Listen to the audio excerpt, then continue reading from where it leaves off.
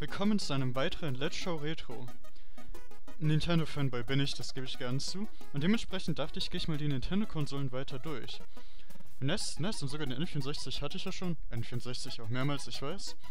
Aber den Game Boy habe ich bis jetzt komplett ignoriert. Deshalb dachte ich, mache ich mit einem weiteren Veteran von Nintendo, nämlich mit Kirby weiter.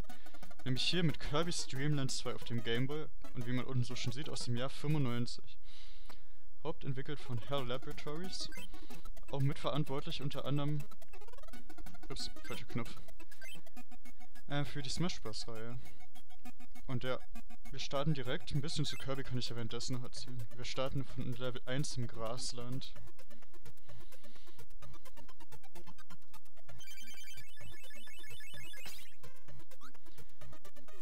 Und dann kommen wir halt eben gleich mal zu ein paar von Kirbys Fähigkeiten. Ja klar, Kirby kann springen wie jeder Nintendo-Charakter, glaube ich.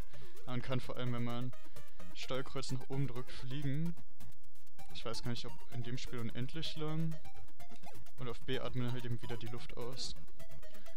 Und man sieht, es gibt drei Level hier im Grasland und einen Bosskampf. Natürlich besonders in Kirby ist die Fähigkeit, Gegner einzusaugen.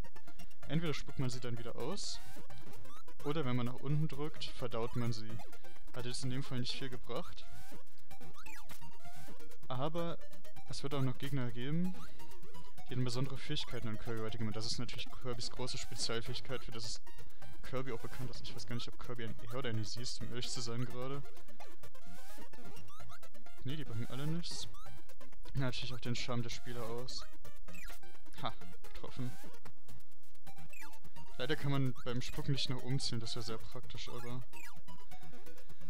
Genau, man sieht, es gibt auch mal Sterne zu sammeln. Ich versuche die mal zu sammeln. Kirby's Dreamland 2 kenne ich so gar nicht. Ich habe 1 relativ viel gespielt auf dem Gameboy, aber zu 2 bin ich glaube ich gar nicht gekommen. Deshalb weiß ich auch gerade nicht. Äh, ist das ein Secret-Eingang? Ich glaube schon.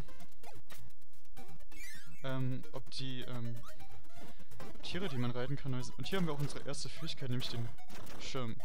Das ist ein Heil-Item, das haben wir ja gar nicht nötig gerade. Und ihr seht, mit dem Schirm sinken wir auch langsamer. Wir können natürlich die Schlangentaste auch gedrückt halten. Dabei bleibt das schon die ganze Zeit ausgefangen. Ist ganz praktisch, behalte ich erstmal bei. Vor allem, weil ich mit dem Schirm auch Gegner über mir platt machen kann, was sehr angenehm ist. Zack. Warum habe ich den jetzt nicht getroffen? Der ist echt in meinen eigenen Angriff gelaufen. Schirm macht Laune. Hä? Und jetzt auch immer kaputt gehen. Ja, Kirby ist halt einer der großen IPs von Nintendo, kann man nicht anders sagen, glaube ich. Und jeder kennt die kleine, jetzt in dem Fall nicht rosa Knautschkugel, aber... Ja, gerade die Dreamland-Reihe ist, glaube ich, das Hauptspiel von Kirby. Es gibt relativ viele Ableger. Ich habe auf dem Gamecube irgendwann mal eine Art Rennspiel gespielt von Kirby. Das war eigentlich auch ganz lustig, dass man auf diesen Sternen entlang geritten ist. Das hat mir Spaß gemacht damals, obwohl es natürlich wenig mit dem eigentlichen Spiel zu tun hat. Und klar, gerade die bekannte Einsaugfähigkeit kennt man ja auch von Smash Bros. Ich glaube, das ist auch eine Fähigkeit. Auf Select kann ich das wegwerfen. Kannst aber auch dann wieder als Stern einsaugen. Aber leider habe ich da jetzt auch gerade den Feuerball mit eingesaugt, weshalb ich den nicht benutzen konnte. Bisschen schade.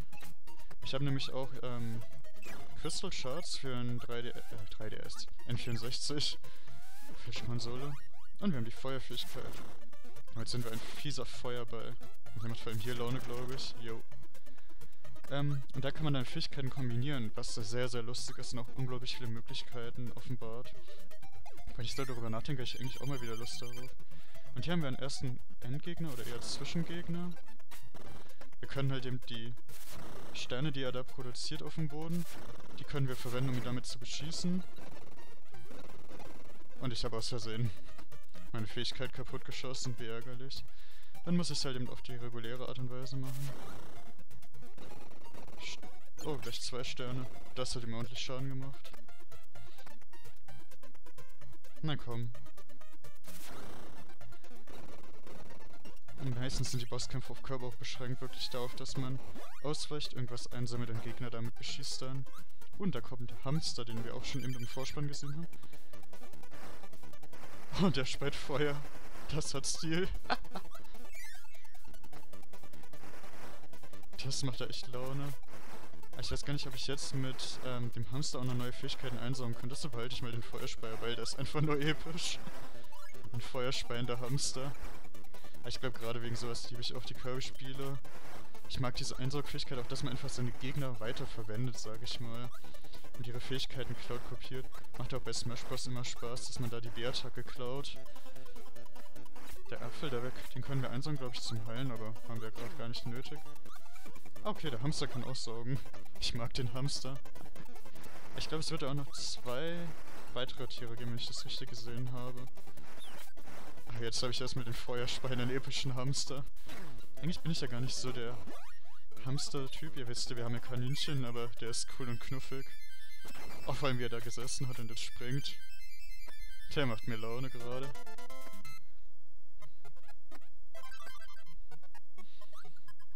Zack, und dann gehen wir gleich mal zu Level 3.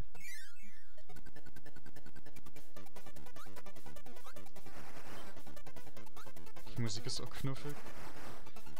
Ich frage mich auch, ob ich theoretisch mit beim Hamster mit draufspringen besiegen könnte. Nein, kann ich nicht.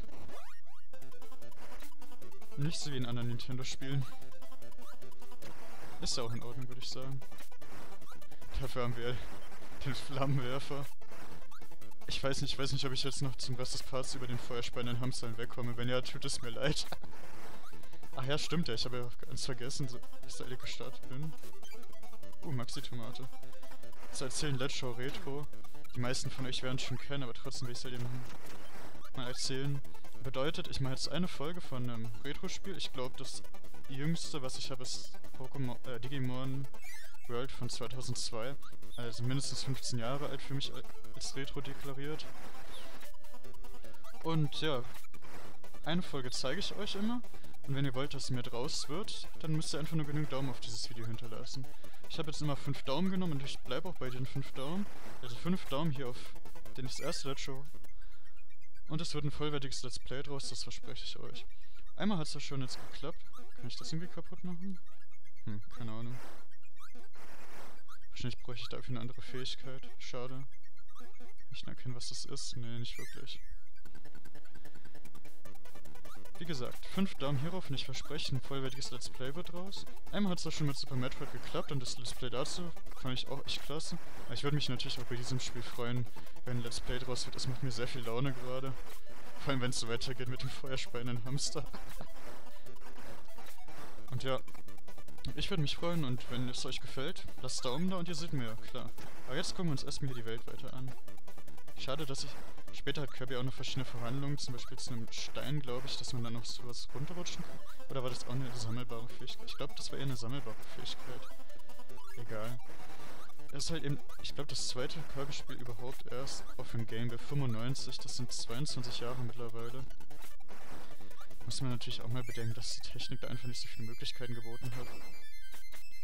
Aber irgendwie weiß ich nicht, wie man hier wirklich so richtig schön hochspringt, weil ich versuche schon immer im richtigen Moment A zu drücken, aber ich auch nicht genau weiß, was der Hamster mir für Vorteile bringt, außer dass er knuffig und extrem episch ist. Egal, ich behalte ihn. Und da haben wir einen der häufigsten Kirby-Gegner. Den Baum. Und normalerweise sagt man halt eben die Äpfel ein und beschießt ihn damit ich kann aber auch einfach Feuer speien, was viel mehr Stil hat. Und da sieht man ihn auch mal. Ah, Feuer, bleib hier.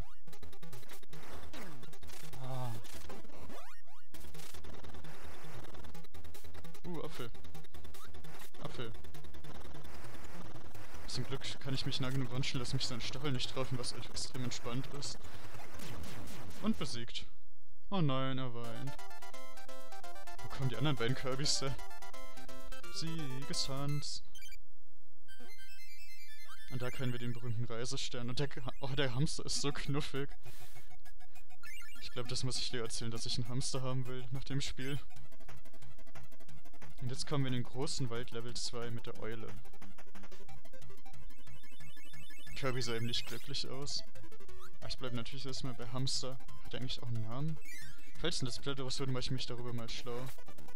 Obwohl ich auch vorher sehr cool finde. Ich will, glaube ich, mal gucken, was uns sonst noch für Fähigkeiten hier erwarten. Das macht ja auch mal Laune. Ihr interessiert mich alle nicht, ihr habt keine Fähigkeiten. Der Pilzhut. Kleinen Regenschirm. Oh nein, habt ihr gesehen, wie Kirby auf dem Regenschirm dann balanciert? Mir fällt gerade auf, halt eben mit dem Hamster verliere ich die Fliegenfähigkeit. Ah, guck mal, so mache ich eher Schaden nach oben. Damit hätte ich dann vielleicht das eine extra Item holen können. Gut zu wissen, ganz cool, aber ein bisschen zu unflexibel. Ich gucke mal, was es sonst noch so gibt. Feuer kennen wir schon. Das benutze ich nur als Wurfgeschoss. Geht's hier noch weiter? Nö. Ab durch die Tür. Ah, ich glaube, das ist eine neue Fähigkeit. Oder nicht? Autsch. Oh, und da ist die Eule. Die kann jetzt fliegen wieder und die hält die Kirby in ihren Krallen. Natürlich beherrscht man nach wie vor das Einsaugen. Damit hängen kann man theoretisch in der Luft hängen. Das ist natürlich sehr praktisch. Hart getroffen. Oh, schade. Den Schirm hätte ich ganz gern noch gesehen. Autsch. Oh, wie Kirby, wie dick Kirby wird, wenn was einsagt. Aber das ist ein Stachel. Ich glaube, die Dinger sind relativ unbesiegbar. Ja, der Schaden macht jetzt mir wenig, um ehrlich zu sein. Gucken wir uns doch mal die Feuereule an. Ah, die macht halt eben so schräg nach unten dann Angriff. Finde ich auch recht interessant. Behalte ich erstmal bei, bis ich was anderes finde. Autsch. Ah, ich finde, der Angriff endet relativ abrupt. Ah, und hier ist schon Level Ende. Was gibt's hier oben denn noch? Uh, aber dafür gibt's hier noch eine neue Fähigkeit. Eine, die wir vorher noch gar nicht hatten. Nämlich den Bumerang. Und der hat natürlich mit der Eule, mit den Federn extrem viel Stil. Ich glaube, Kirby wirft, wirft sonst einen Bumerang. Was der Hansen mit dem Bumerang macht, gar keine Ahnung. Ah, diesmal sind wir irgendwie besser gesprungen. Merkwürdig. Belohnungsmusik macht mich glücklich. Level 2. Gibt es hier auch einen Boden oder fällt mir hier ins Bodenlose? Ah, es gibt auch einen Boden. Ist das eine Geheimtür? Keine Ahnung. Ah, wieder so ein Ding, aber dafür braucht man wieder eine andere Fähigkeit scheinbar. Hätte man dafür jetzt Feuer gebraucht? Egal, hier kriegen wir auf jeden Fall Bumerang wieder. Ich kann natürlich mal gucken, ob ich hier das Feuer einsammle. Und dann nochmal durch die Tür gehen kann. Ja, kann durch. Nee. Keine Ahnung, was man dafür für eine Fähigkeit braucht. Ich glaube, ich hole mir den Bumerang zurück, der ist echt cool. Ich glaube auch richtig stark. Die Schirm würde mich jetzt auch interessieren, aber den kennen wir jetzt schon in zwei Varianten. Ich glaube, ich bleibe erstmal bei dem Bumerang. Vor allem sind das die Federn, glaube ich, von der Eule, die da versprüht werden. Die sieht man ja an dem Muster. Und das finde ich ist auch sehr cool. Okay, wo müssen wir hin? Ach, hier ist die Tür. Aber ich glaube, von der Musik habe ich nachher einen Ohrwurm. Nicht, dass es schlecht wäre. Ich dachte eigentlich, dass das Elektrogegner wären und dass man die einsaugen können, aber scheinbar habe ich mich da geirrt. Oh, aber das wäre, glaube ich, wieder neuer gewesen. Nicht umbringen, Plato, nicht umbringen. Also natürlich nicht dich selber, aber auch nicht den Gegner. Und wir haben Stacheln. Die auch sehr weit nach unten reichen. Meint ihr, das ist vielleicht dafür die Tür notwendig? Ich weiß nicht, ob ich jetzt nochmal durch die Tür zurück kann. Nein! Bleib hier! Nerv mich nicht, komisches, ekliges Vieh. Nee, ich kann nicht mehr zurück, schade. Naja.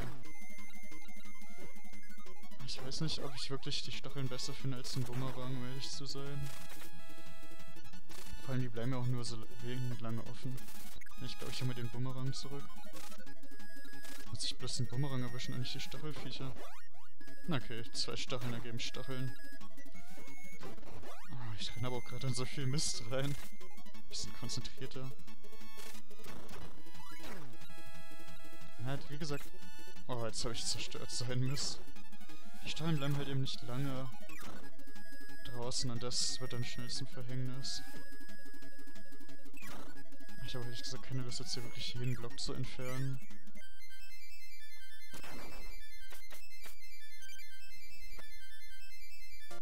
Na, wie die Eule auch mittanzt. Ja, aber das war jetzt schon die erste Hälfte der zweiten Welt. äh, da Gamerspiele meistens relativ kurz sind, halte ich auch den Part kurz. Ich weiß gar nicht, wie viele Welten hier noch kommen, aber zwei haben wir schon kennengelernt. Wenn ihr wollt, dass, dass mehr noch kommen, wie gesagt, 5 Daumen auf das Video und ein Let's Play wird raus. Versprochen. Also, wenn ihr dann wollt, bis zum nächsten Mal. Ciao.